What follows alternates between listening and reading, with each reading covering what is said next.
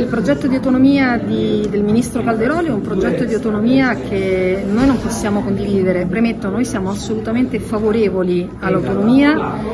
ma un'autonomia che rispetti il dettato costituzionale, che quindi preveda eh, la definizione ma anche il finanziamento dei livelli essenziali delle prestazioni, cioè il livello minimo di servizi e di prestazioni che deve essere garantito su tutto il territorio nazionale e che consente di superare il principio della spesa storica che ha penalizzato i territori più più svantaggiati e poi un'autonomia che prevede l'istituzione di un fondo di perequazione per i territori, per le aree del Paese che sono rimaste più indietro. Eh, il governo non ha previsto nulla di tutto questo, ma soltanto l'istituzione di una cabina di regia dove si discuterà della definizione di eventuali LEP e questo naturalmente è un trucco, o meglio, sarebbe, bisognerebbe chiamarlo per quello che è, un imbroglio.